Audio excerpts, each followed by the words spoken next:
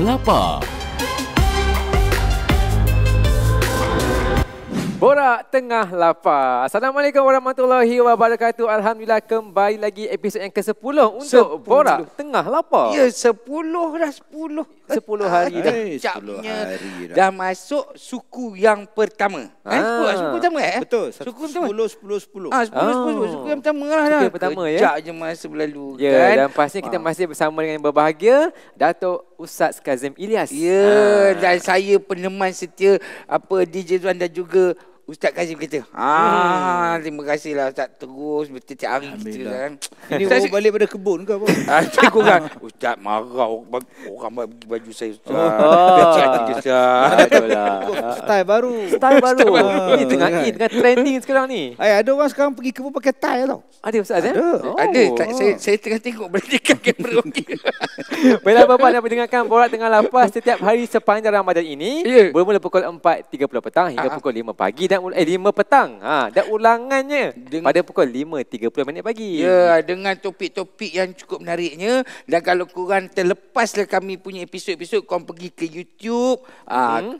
KLFM official. official. Ha ha korang boleh tengok daripada episod pertama sampailah episod hari ni. Betul, Ah, nak betul. lagi best on sekarang YouTube tu tengok yang korang dengar kat radio sekarang ni ah tengah keluar dekat YouTube jugalah. Ha, okey. baiklah. Dan untuk hari ini apa kan topik Ya. akan kita bincangkan? Jom kita tengok-tengok email tu. Apa Ah. pula kirimannya tu? Ni ni Ustaz Ustaz dia bagi salam Ustaz. Oish. Assalamualaikum Ustaz. Waalaikumsalam. Syukur Alhamdulillah tahun ni dapat menunaikan umrah ketika bulan Ramadan. Wow. Saya nak pandangan jujur dari Ustaz. Ustaz jujur Ustaz. Ya. Ha. Uh, di Mekah dan Madinah nanti, dekat mana tempat makan sahur? Dekat tempat makan saja. Saya ingat tempat mana mustajab doa. Itu dia. je. Tak nak kecil hati dia. Ya, ya, ya. Puasa kita gelak-gelak korang pula. Okey. Astaghfirullahalazim. Astaghfirullahalazim. Ya, ya, ya. Sambung sambung ya. Ah, Ah, ah, ni dekat uh, di Madin di Mekah dan Madinah nanti dekat mana tempat makan sahur dan buka puasa yang best. Share location please. Share location. Oh, so share pula. Macam Ah. kita dekat Mekah je. Hashtag puasa tanah suci. Hashtag aku ada kau ada. Oh belagaknya. Ha. Last sekali. Hashtag borak tengah lapar. Silakan Ustaz. Ya, Assalamualaikum. Bila sebut Ramadan di di Mekah adalah tempat yang paling meriah sekali. Uyuh. Kadang-kadang kita ni masuk masjid nak buka puasa dan sebagainya berebut orang untuk makan dia punya jamuan dia. Allah. Tok-tok Arab ni dia bila kita masuk ya Muhammad Muhammad Muhammad dia tarik kita. Mhm. Oh, dia suruh duduk situ dia, dia tuang air duduk sini makan dia punya. Kalau kita pergi tempat lain, Okey. dia marah dia panggil kita balik. Hmm. So bila sebut tentang so tu, ya maknanya kalau datang umrah di Mekah waktu itu tak gaduh. Baik sahur, baik berbuka memang meriah Memang tu, dengan makanan. Bukan buka je. Sahur pun sama. Kalau kita tengok yang 10 hari yang terakhir lagi Ya. dahsyat. Ha, di hotel-hotel dan sebagainya. Jadi bila kita tengok keadaan macam itu, tak gaduh untuk makan. Tapi setengah orang dia nak selesa. Ya. Ada restoran-restoran kepunyaan orang Malaysia. Yang bukan duduk di Clock Tower tadi, Ya. ada yang di luar.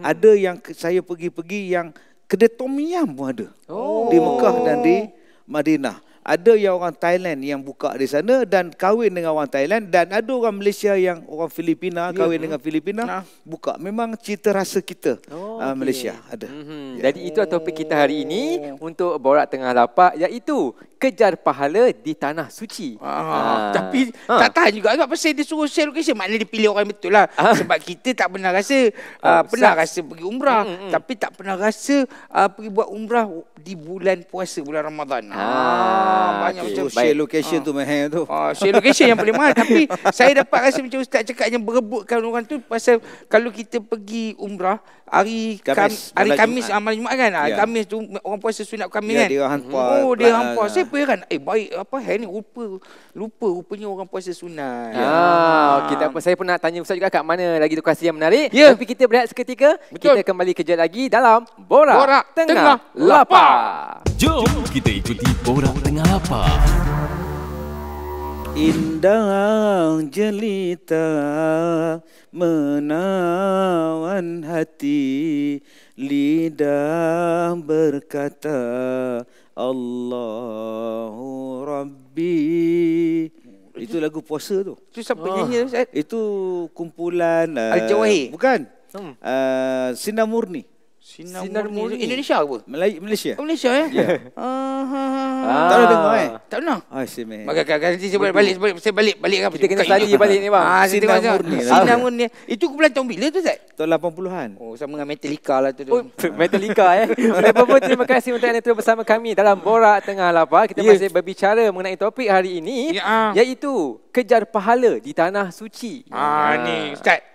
Soalannya, ada orang yang seolah-olah menggunakan umrah dan haji untuk menyucikan dosa. Boleh cakap macam tu ke? Ha? Walaupun tiap-tiap tahun pergi, tiada, tak ada perubahan dalam diri dia. Masih sama je. Ha, komen Ustaz. Dia Kita kena tengok. Hari ini orang menunaikan umrah ataupun mengerjakan haji macam-macam niat. betul. Ada yang pergi sebab bercuti. Ha, ha. Ada yang pergi sebab uh, nak buat ibadah. Ada yang sekadar pergi sebab nak ambil nama. Yes. Ha, dia nak ambil nama. Dia kata aku itu dah dapat, gelaran ni dah dapat, gelaran dapat. Ya, haji je belum ambil. Haji belum ambil. Haji belum ambil. Maknanya dia menganggap haji itu hanya untuk gelaran dia saja. Ada yang pergi sebab bisnes. Ah, ya. Sebab tu kita hari ni tak heran ada orang yang yang dia uh, apa preview produk dia depan Kaabah. Aduh. Ha, nampak sekarang uh, kulit saya lebih flawless. Saya menggunakan lotion inilah untuk di tanah suci. Mm-hmm. Ha, siapa-siapa nak depan Kaabah tu. Mm-hmm. Maknanya dia jual produk dia berlatar belakangkan Kaabah. Subhanallah. Mm. Sebab itu kita tak heran di zaman hari ini orang berlumba-lumba nak pergi buat haji atau umrah. Tapi agak-agak berapa persen yang pergi itu hanya semata-mata kerana nak mengabdikan diri pada Allah. Mudah-mudahan aku nak buat ibadat, ini keperluan dan sebagainya. Mm-hmm. Maka tidak heran, ada orang yang tak nak pergi umrah dah. Dia kata dah empat kali aku pergi. Mm-hmm. Untuk belanja umrah ni naik, bulan Ramadan ni naik. Ya, ya. Ah, bulan Ya, Ustaz. Ramadan naik. Uh, kalau kalau ada yang 20 ribu, 30 ribu. Sekarang kos dah makin tinggi. Dia kata daripada saya buat ra- umrah bulan Ramadan, baik saya buka iftar, mm-hmm. berbuka puasa. Mm-hmm. Baik saya wakaf untuk mahat tahfiz dan sebagainya. Buat yeah. wakaf buat untuk masjid. Jadi kadang-kadang saya fikir macam tu juga. Kenapa kita hari ini tak masukkan satu tabung khas? Katalah waktu umrah yang datang pergi semayang dalam 4 juta. Ya. Uh, sepanjang tu agak-agak orang Malaysia yang pergi umrah mungkin dah kita katalah dalam uh, 25 ribu orang yang pergi umrah. Yang kali ketiga keempat Oh. perbelanjaan dia mungkin 20 ribu. Ya. Kalau 20 ribu didarabkan dengan 25 ribu orang, hmm. ada berapa bilion duit kita. Oh. Duit itu kalau kita kumpulkan untuk dana pendidikan orang Islam, perubatan orang Islam, membasmi kemiskinan, buat hospital, saya rasa selesai. Dengan 25 ribu yang pergi umrah, dengan kos 20 ribu ringgit minimum seorang, Masya Allah, berapa puluh juta kita dapat, ratus juta dia. Tapi dia tak jadi salah Ustaz. Pasal niat dia nak pergi umrah Tapi dia, dia tukar pada ni Dia tak jadi macam Sebab itu di dalam agama kita dia ada satu kaedah dipanggil al-aulawiyat, keutamaan. keutamaan Macam saya dah pergi umrah. Ha. Tapi saya nak kata saya pergi umrah banyak kali pun betul juga. Tapi saya pergi bawa orang. Ya hmm. Ada kerja Ah, Koji Ah, sana tanggungjawab, kalau kalau tanggungjawab. kalau makcik-makcik tak pernah pergi umrah, pergilah Ustaz Kasim. Saya dah pergi dah. Ah. Atau makcik nak belajar macam mana? Oh, dah tak susah juga. Tapi atas dasar nazar tu Aku kalau aku Ah, dapat ni nazar tu kena ah, pergilah. Kena pergi juga Walaupun macam Ustaz kata tadi Kita boleh tukarkan mana yang keperluan Ah, itu yang saya katakan tadi. Ah. Yang nazar wajib. Waz- ah, Nazar wajib Silakan buat. ah. Tapi dia hak kita sebut sebagai sunat ni. Ah, ah. Yang pergi kali kedua, tiga, empat. Katakan saya nak pergi umrah. Bulan lima akan datang Ya, insya-Allah. Contoh bulan depan. Duit tak bayar lagi, baru bayar deposit 500. Tiba-tiba jiran rumah saya terbakar. Mhm. ah. Ha, macam mana Leha? Kesian Kak Som dengan Abang Bidin rumah terbakar. macam mana belanja umrah kita bagi pada demo. Itu paling afdal. Ah. Melainkan kalau Kak Sun dengan Abang Bidin tu kaya lah. Ya, Tapi ya. kalau dia mau apa-apa kedana, Ha. ambil 10 ribu kau, ambil 10 ribu isteri kau. Lah, saya tak jadi pergi umrah, 20 ribu ni kau bin. Itu yang paling afdal. Itu lebih afdal, yang saya silap Ah. tu Kalau saya tahap, kalau tahap macam itu punya dia korbankan nazar dia tu, tu kan, Hmm. saya rasa sampai kalau macam tu mesti ada orang yang eh Aku jumpa kamu dekat Mekah itu.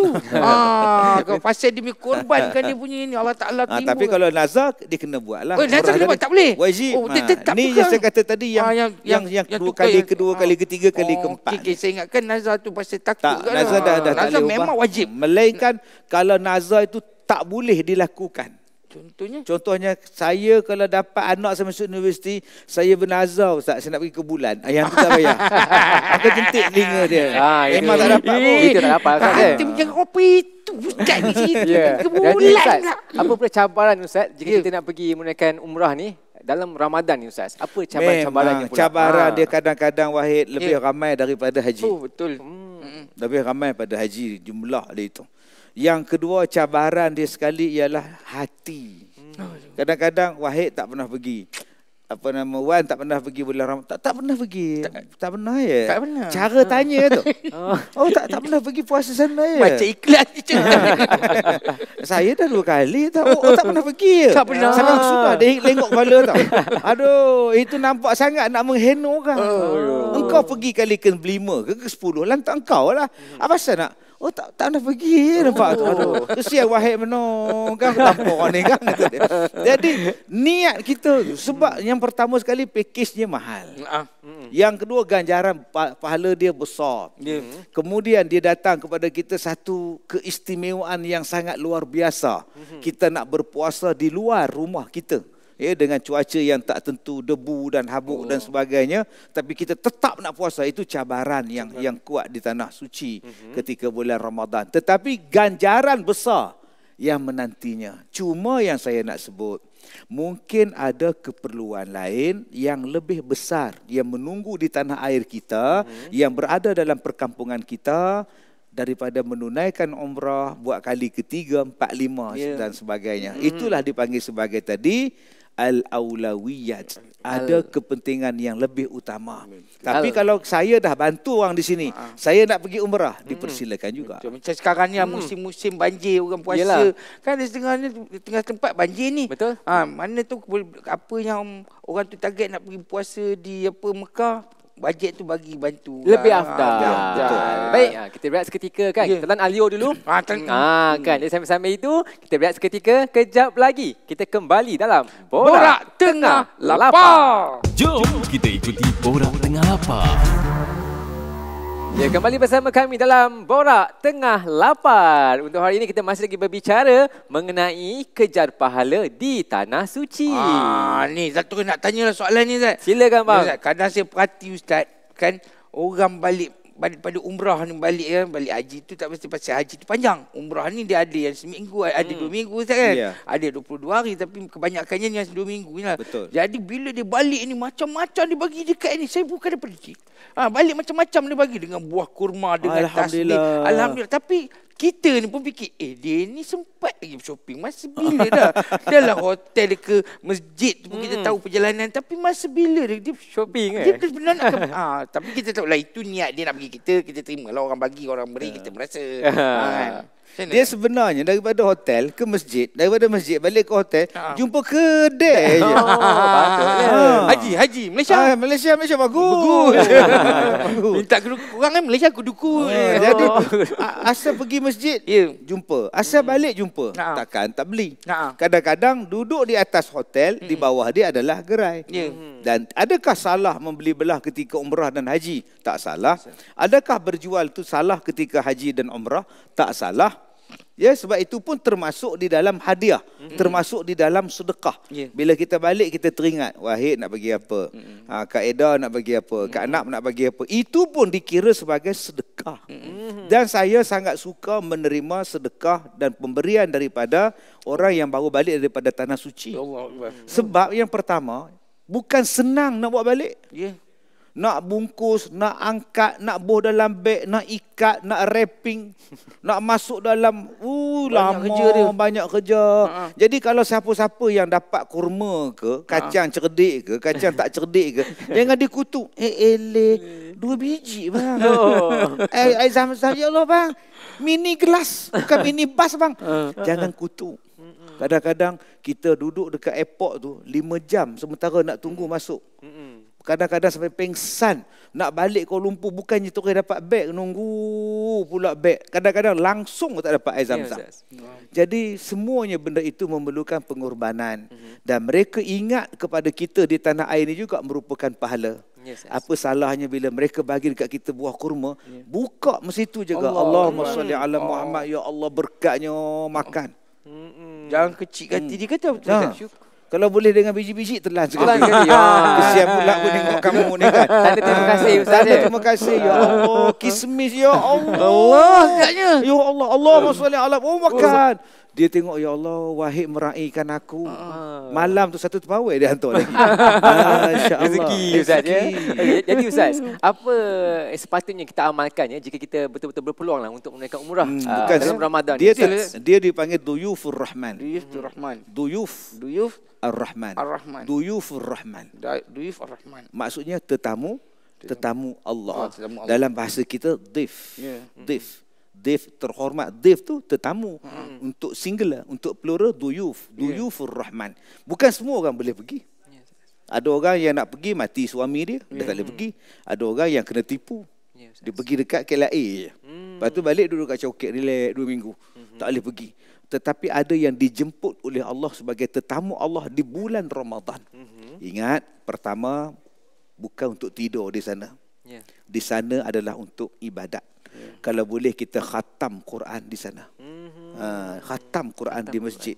Saya ingat guru saya pesan duduk di Madinah khatam Quran, duduk di Mekah pun khatam Quran. Bab shopping, bab shopping ni di Malaysia dah ada kurma Betul, dah. ada dah. Tasbih, masbih semua Ya. di Malaysia Apa ni dah ada. jubah dah. yang ba- baju tidur tu pun dah ada dah. Jubah Yaman jubah dah, Yaman, Yaman. semua dah ada dah. Tak payah berebut lah di sana. Ha. Jubah hitam yang beli hari tu pun tak habis-habis pakai lagi. Jadi kalau boleh baca Quran 30 juzuk. Saya sakit banyak. Saya penyakit banyak wahid. Oh, Duduk di Masjidil Haram baca Quran minta kesembuhan. Nanti buka puasa minum air zam-zam minta kesembuhan. Yang mana tak ada di Malaysia cubalah buat di sana insya-Allah Allah beri kebaikan. Alhamdulillah. Tapi apa kita sampai je kalau sampai dekat Jeddah ataupun Madinah automatik dia dah tulis dah welcome kalau tet- tetamu bahasa orang putih apa? Ah, guess. Ah, Allah guest Allah guest of Allah dia tulis besar kan kalau ya, eh, tak ya, apa ya, sana dia ya. kita masuk je turun je terus besar dia tulis tu. Ya, Alhamdulillah. Uh, terima kasih uh, kasih. Ustaz hari Ya. ini dan juga terima kasih kepada Abang Wahid juga Ya. selama 10 hari ni. 10 hari. Kita bersama Ya. bulan Ramadan ni Eh, untuk borak tengah lapar. Tapi Wan, Ya, tapi ya. Wan macam nak halau tu kan. Bukan Allah apa. Jom lah balik, jom. Allah. Kita Janganlah, janganlah. lah, ya lah. Janganlah janganlah, janganlah. Saya Tapi Wan, kita ambil berkat ni Wan. Hari ni Abang Las Wan. Alamak. Ah, hari ni Abang Lan. Mm-hmm. Lepas ni Wan pula lah kan. InsyaAllah, abang. Wan pun Las kan Abang pun Las tak kisah. Ustaz pun sama. Kita ambil berkat bulan puasa, petang puasa. Kita minta Ustaz doa sikit. Ah. Pendek tapi padat Ustaz. Alhamdulillah, boleh Ustaz. Ah, boleh Ustaz. Pendek padat Ustaz. Baik, insyaAllah. Bismillahirrahmanirrahim. Alhamdulillah wassalatu wassalam ala Rasulillah wa ala alihi wa sahbihi ajma'in. Ya Allah ya Rahman, kau terimalah ibadah kami sepanjang bulan Ramadan ini ya Allah. Terimalah solat kami, terimalah puasa kami, terimalah qiyam kami. Terimalah iftar kami, sedekah kami ya Allah. Panjangkanlah umur kami, sihatkanlah tubuh badan kami. Mudah-mudahan dapat kami mengharungi menghabiskan Ramadan dengan ibadah kepadamu ya Allah. Rabbana atina fid dunya hasanah wa fil akhirati hasanah wa qina adzabannar. Wa sallallahu ala Muhammad wa ala alihi wa ashabihi ajma'in. Walhamdulillahi rabbil alamin. Amin rabbal alamin. Terima kasih Ustaz Terima kasih. Semoga Ustaz uh, Muhammad Kazim dan juga Abang Wahid insya-Allah ada kesempatan kita jumpa lagi. Terima kasih. Uh, insya-Allah dan esok kita akan bersama dengan tetamu yang lain pula Ya. dalam Borak Tengah Lapar hari yang sama, Ya. waktu yang sama bermula pukul 4.30 petang hingga pukul 5 petang Ya. dan ulangannya pada pukul 5.30 minit pagi. Ah, dan jangan lupa saksikan muka-muka ni di YouTube KLFM Official. Okey, terima kasih KLFM. Jumpa Semua lagi. terlibat. Terima kasih semua Ustaz. Okey, Assalamualaikum Malaysia. dalam Borak Tengah Lapar. Borak Tengah Lapar itu tadi dibawakan oleh KLFM.